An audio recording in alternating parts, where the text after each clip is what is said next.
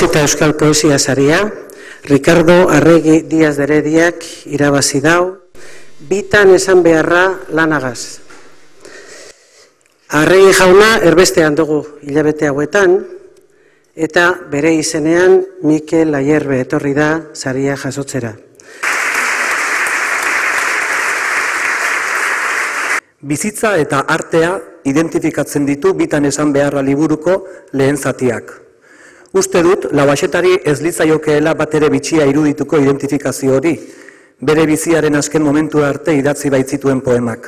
2000 mairoko labaxeta ikusentzunezkoen zaria, Javi Elortegik jasoko dau, bere galerrina ekaitza ezaguna lanaren gatik. Nire herriko historizatibeta, nire atxitxa arrantzali izan da, nire aitxe bai, nik kategoria apurtu dut, eta orduen e, nietzako bau usteot dala aportazio txiki bat e, herriko historize kontatzeko, ez? Aurten, bizitza osoan horretxetan ibilitako balendun lasuen intelektual masu eta euskal kulturaren ikerlari sortzaile eta adituari jagoko labaseta horrezko saria.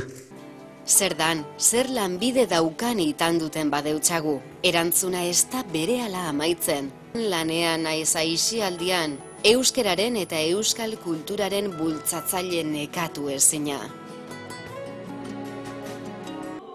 Eta horrez ganera, taldean lan egiten gizon apartazan.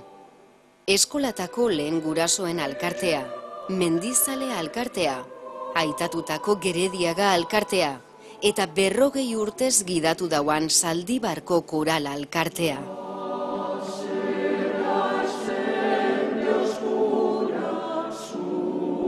Inork pentsau badau balendin lasuen eri larogeta bederatzi urtegaz lana isteko garaia heldu jakola. Oso oker dago, erretirauta bai, aspaldi, baina lanean jarraitzen dau gogotsu, langile zintzoa eta saiatua, gizon ona, euskal kulturaren bultzatzaile zutsua, gure hizkuntzaren alde etenbako lana egin dauan euskaltzalea. Horregaitik guztia gaitik, aurten, ohorezko lauas eta sariak Balendin lasuenen lana aitortu eta eskertu nahi dau. Zorionak Balendin!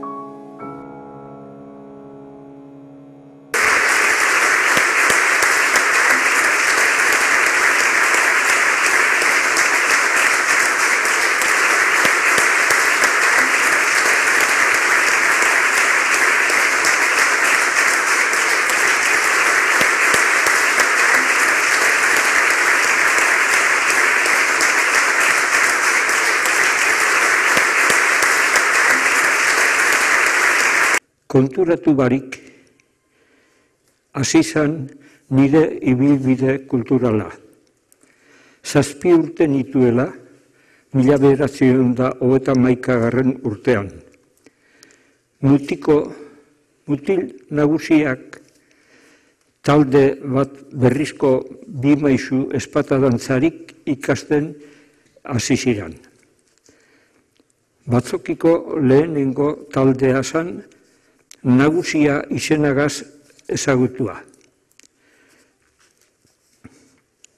Eurak entzeiuak ikusten hainbat bidarretan guk mutiko txikiok dantzak ikasi gendu zan.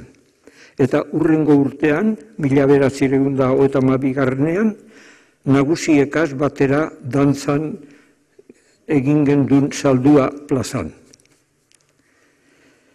Sin darme cuenta, había iniciado mi trayectoria cultural a los siete años en 1931, cuando un grupo de jóvenes iniciaron con dos maestros de Berriz el aprendizaje de la espata danza, del primer grupo de danzaris del Batzoki de Saldívar, los cuales fueron conocidos más tarde como los danzaris mayores.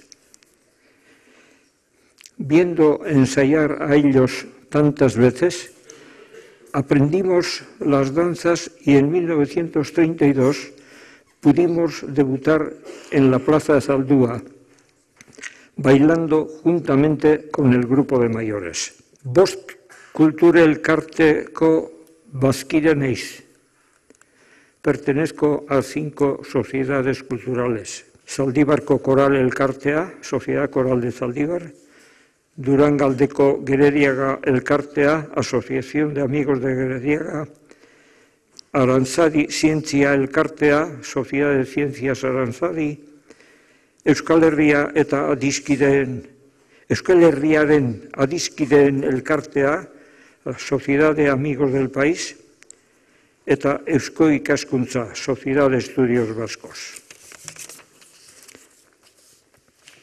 Idazlea beba naiz, eta berrogei titulu idatzi ditut. Soy escritor y he escrito 40 títulos. Son interesantes, he vivido intensamente tanto en la investigación como en el trabajo de campo. Bai ikerketak eta bai kanpo lanak oso interesgarria dira eta atzegin ditut, eta atzegin egin dute. Maite dut zaldibar nire jaioterria, baita zazpi lurralde dituen Euskal Herria. Baita zuek ere maite zaituet. Agurtarri.